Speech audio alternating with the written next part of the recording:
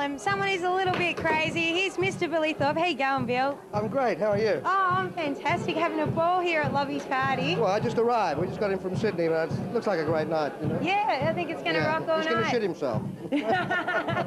Any moment now. Uh, any moment. We've been. Rat boy! We got rock stars in the building. We're asking everyone their favourite lobby story. What's yours? Uh, listen, I went to school with her. Lobby, Lobby and I grew up a street apart. I've known Lobby since I Ah, was excellent. 11, 12 years old. My favourite Lobby stories you can't put on the air. You know, No, we lived no. together. We were school friends. Uh, he was my hero. He changed everybody's life. I think that well, knew him and knows him. Certainly musically, he changed mine. Had a lot to do with the direction that I took in the 70s, as well as the drugs that I took in the 70s. He had a lot to do with those as well. Uh, one of the uh, absolute originals. I mean, Lobby is a one of a kind. Very sad that he stopped playing because he was also one of the great guitar players of all time. I love him dearly. It's a pleasure to be here, and the turnout tonight is a testimony to what sort of a guy and what sort of a man Lobby is. God bless him. yeah, we're going to get you up here tonight. Oh, depends how I saw you I with your get. you know. guitar a little earlier. Yeah, I brought, a, I brought a guitar. I hope I'm not the only mug that did. I don't think so. I don't think so. Thanks, Billy. My pleasure. Take care. Thanks. See ya. Here I am with one of the most fabulous voices that has ever come out of this country. This lady needs no introduction. Lovely Renee Geyer. Thank you for chatting to me. Can we are asking everyone here tonight their favourite lobby story? Could you please share yours? I don't think I, I can do that. Why? I'm sure a lot of people will say that, not on TV. but he, he is, um, without a doubt, unique, one of the great musicians of our time, a great character, a great producer, a great wit in his dry, quiet way, and uh, just a one off character. There's nobody like him. Wouldn't have missed this for the world.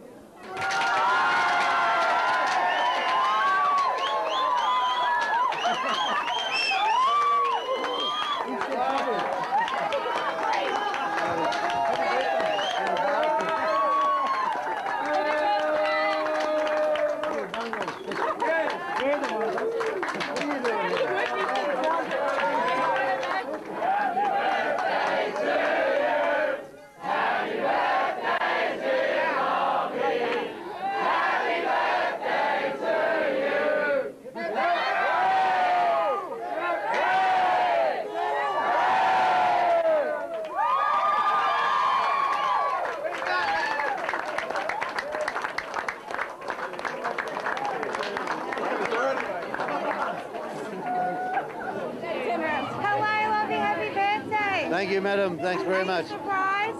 Shocked. I thought I was Eddie Greek Burton coming down to see a band, but I'm not. I'm being. No, well, Whatever. it's all for you. I hope you have a great, great night. We've been having a ball today. Yes, it's about time you got here and joined us. Thanks very much. When you have your return, thanks, Lobby. Thank you, madam. Thank you. Happy birthday. Thank you. Birthday boy. Well, the party's in full swing now. I have Michael Gudinski with me, and we are asking everyone here tonight, Michael, what is your favourite lobby story? Please tell me. Well, I don't know if it's my favourite, but the first time I met him when I was running dances as a kid, he, um, he tried to beat me up, I think, because I was complaining that the, that the, Az- that the it's true that the Aztecs were late. But um, obviously after that we became good mates. You know, he inspired me a lot about music. He discovered the Sunnyboys and was always a, a great brain to to lean on uh, when I was uh, developing Mushroom Records. But uh, I still think there's a lot left in the old boy, and uh, certainly uh, is one of the classic Australian legends. Definitely, definitely. You having a good time? We've been having Well, a great time. we're ready time. to rock. Another couple of sakis, we'll be away. Have a good night. So- Good on you, Lob. Thank you. Hi, who are you? Not bad. Your name is? Shorty. Sean. Sean, your first. No, Shorty. Shorty. Sorry, Shorty. My mistake. it. That's it. It's very bad of me. It won't happen again. How are you enjoying tonight, Lobby's party? All right. Yeah, yeah, you've been around with a lot of people before. I hear you hang out with the rock stars all the time. Yeah. Yeah? It's been great talking to you. Thanks for being on the silent. Bye. Shawnee! Plug your band, plug your band. Yeah, uh, we're, we're called Sidewalk Tango, and we do dance performance and comedy and things like that. And we're doing it. We're doing a little show tonight of um, some show tango. Yeah, yeah, yeah. yeah, I tango with him. Yeah, takes two. Hi, it's Nicole here from Asylum. We're here at Lobby Loyde's 60th party. I have Mr. Glenn Wheatley with me, and he's going to tell us a little bit about Lobby. Well, I actually go back way to the beginning, in Brisbane days, when uh, Lobby actually gave me my very first chance in the music industry. So I've got Lobby to blame for all of my my 33 years in the business. I think we'd say we've Well- got Lobby to thank. Well, he, he actually gave lent me my very first Vox AC30 amplifier and my very first 12-string Rickenbacker, and he allowed me to actually be uh, a temporary member of the Purple Hearts, a very legendary band from Brisbane that I absolutely Excellent. I uh, it, it was enough for me to be convinced that the music business is where I want to be. And, uh, and unfortunately for me, I was only 16 at the time, and uh, I wasn't allowed That's to. I wasn't allowed to leave Brisbane when, with the with the Hearts. So uh, I didn't enjoy their success down here, but uh, I was there at the beginning with them, and it was a, a very formative part of my life, and I have Lobby to thank very, very much for that. Excellent. And we thank you too, Lobby, because we need Glenn Yeah, Wheatley. well, uh, no, Lobby, happy 60th, mate. We're looking forward to tonight. We're going to have a lot of fun. it's been great. Yeah. Thanks, Glenn. Thank you. Hi, we're here from Asylum right, for yeah. Lobby's birthday where you party. We're from Asylum, Oh, Channel okay. 31, every Yeah. Tuesday, 10.30. I love Channel 31. It's Oh, fantastic. excellent. Well, watch Nothing us. like in Pit Lane. What a fantastic show. And Asylum. the way the guy doesn't bite his lips off, well, I've never seen Asylum, I must confess. Well, watch us on Tuesday night, 10.30. It's a great show. That's and only- you'll be on it now. That's only an hour after uh, in Pit Lane. Well, there you go. That's so you very. I can watch stay it. up and watch myself yes. on telly. It's a beautiful. I love it. It's a play and it's a play. So, what does Lobby mean to you? Are you having a great time at Uh, Yeah, Lobby's a great guy. In fact, the first live band I ever saw was Lobby Loyde and the Coloured Balls at Festival Hall in Oh, wicked. 1968, or no, it's probably more like 70, 71, something like that. Oh. Long time ago, the yeah. first band you saw. And he married a very good friend of mine, this one over here. There's, there's, hi Deborah, Mrs. Hi, Deborah. Loyde. Hi, Yeah. Miss.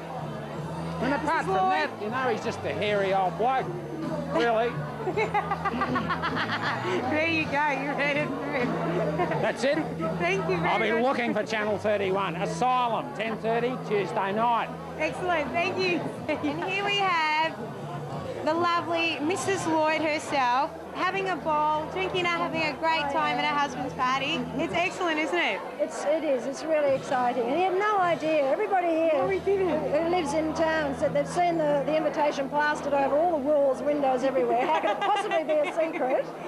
Of course you knew. I knew, and I must have been the most boring person to talk to in the last two months. Because everything I wanted to say is about who I've spoken to, who I've seen. And, Of course, and you yeah, can't and I do couldn't it. say a thing. Oh, you're a good woman. yeah, it's really nice. It's nice for it's nice for him that everyone's shown their support. Oh, it's amazing, isn't it? It's But he's great. been hiding up in the hills for 15 years, looking after my kids and our horses. and he play, he writes the most amazing music, but I'm the only one that hears it. So, Oh, really? so it'd be nice if he had a play later. Yeah, reckon he will?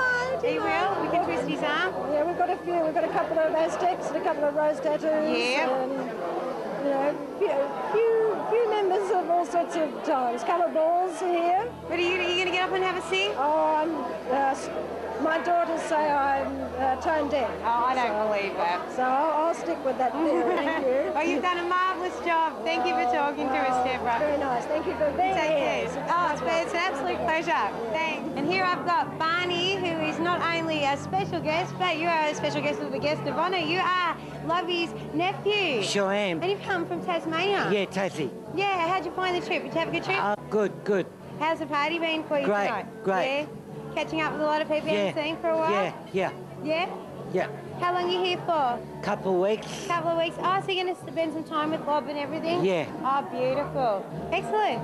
Thanks, Okay, Barney. thank you. Take care. See ya. Yeah, we're still at the Central Club for Lobby's party, and I've got Tessa, who is a very, very talented young lady. She's a singer of a band that's called Eccentric, but we're here to chat to her about something else because she's going to be booking a local bands here at the Central Club. So get organised, guys out there. This is how you do it. You send a demo down to the Central Club, corner of Swan Street and Coppin Street, and I'm going to give heaps of bands the opportunity to play. I'm going to be having all the premier bands headlining. So if you want to play, send your CDs down. Easy as that. Easy as that. Ah, Shall I say my how cool is mobile that? number? They want Yeah, to ring? Yep, ring Tess. 041 444 3595. And don't ring me for dates, only for gigs. I'm glad you said that because she's a cutie and I know you. Actually, no, no. Thanks, Tess. You take care. Good No luck. See ya. Okay, I've got Lucy and Heidi here, and Lucy is the daughter of Lobby. How do you feel, Lucy? Not very special. Not very special. Oh, I think you should feel very special. You've been doing a great job with the camera. I've noticed you got everyone's photo tonight and you've checked out everyone's birthday and we'll let you go. Happy birthday, Lobby! Happy birthday, Daddy. Thanks, guys. It was great. You were great. Believe me.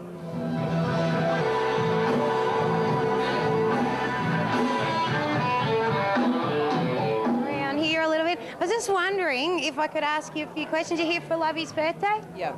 You are? You're having a really good time? Yeah. Yeah. What does Lobby mean to everyone here? You related or? No, no, just good times and rock and roll. Was going to say, you're in a band with Lobby or something. Everyone else seems to have been. or No, something. no, just going to pubs. Do you have a favourite memory? Station Hotel. Station Hotel. we just don't need to say any more on No, that. No, no. no. Anybody else here have a favourite Lobby memory they'd like to share? I just used to go and see him all the time at the Box Hill Town Hall when I was 17 and too young to go out to the Box Hill Town Hall. But I used on to go in and skinhead dance to lobby. How embarrassing. Nothing embarrassing about rocking and rolling. Nah. We want your silence! We always want that,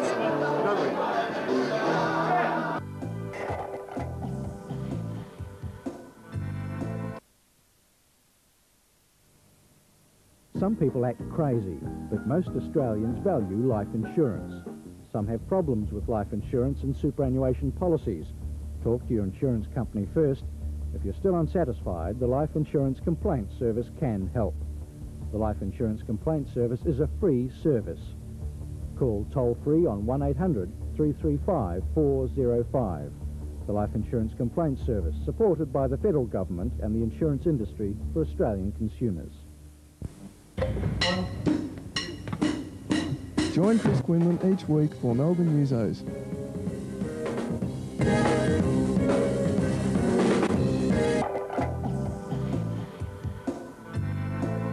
G'day, I'm Ed. I'm Michael Badger. Tim Wheatley. Mick. And we're a rock and roll band called Avenue. You're watching us on. I'm gonna build this one right down. This one's a uh, it's a little mellow song called 668. Hope you enjoy Thank you.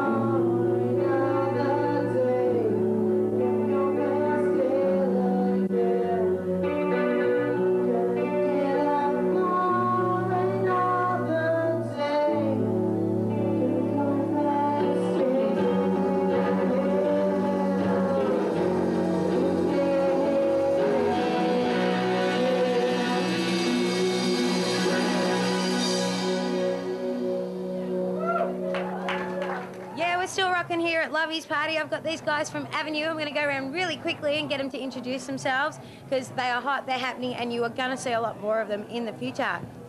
I'm Michael Badger, and I'm the lead frontman of Avenue, and I like to pull lots of rock moves. He does, he does, he does. Tim Wheatley, lead bass guitarist. it's a great concept. You've got to see this to believe it. I'm Mick Hine, the drummer. It's just the drummer who, he's all right. and Ed Van, guitarist, bit of lead, bit of rhythm. bit of lead, bit of rhythm. you got to compete with this bass that's going on here. Now, you guys have been together for about how long? Um, we'd say just over a year. When the loud bass guitarist came and uh, joined, that sort of formed the band Avenue, and we've been kicking it from there. Yeah, made a few changes. Change the sound Yeah. and the writing. Do you Yeah. write as well? Uh, no, not really. I was going to say, you're the boss or something now. You just come in and took over, Tim. I It's know the they all they all answer to me, don't they? But you know, That's a good plan, I think. I yeah, I know. And you guys are recording at the moment, and you should have something for us soon, yeah? Uh, Triple A side or an EP. We're gonna see how many tracks we want to put on. Uh, hopefully around August or September, we're gonna get something out. Yeah. Excellent, excellent. Check your gig guides because they will be everywhere. There will be an EP or something in stores in a few months' time. Avenue, don't forget the name, check them out. We watched Asylum. Well, the party's over and we finally got him here. The man himself, Mr. Lobby Loyde. How are you today? Not too bad, thank you, madam. How did you go when you turned up and there's all your friends there and you didn't have a clue at all with your party, did you? Well, actually, my first thought was I saw my daughter there and she's 14. I thought, what the hell's she doing in a pub? and then I saw my son and he looked, he's 16, he looked a little drunk and I was thinking, uh-oh. Got that one through by Dad. And then all the, the streamers went off and everyone said, surprise, because I, I was going down to see my nephew's band, Avenue. Yeah, they were great. Well, I didn't see anything after that. I just, I bet. Need something for the shock. no, it was a good party. I enjoyed it. It was, it was fantastic. And it was great to see half those people. I mean, I had pals coming from all over the country and it was sort of good vibe. I liked it. Very enjoyable. Do you know you're accredited for most of the careers in the place?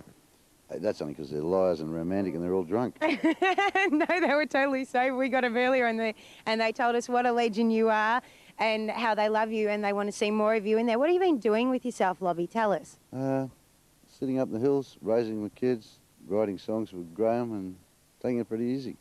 And we, we, we make a few records with a few little bands around the place. That's the pleasure of it. It's, uh, don't do much playing. We did a bit with Fish Tree Mother, but that was kind of an exotic taste. A lot of people thought, thought we were playing Swahili. Oh, okay.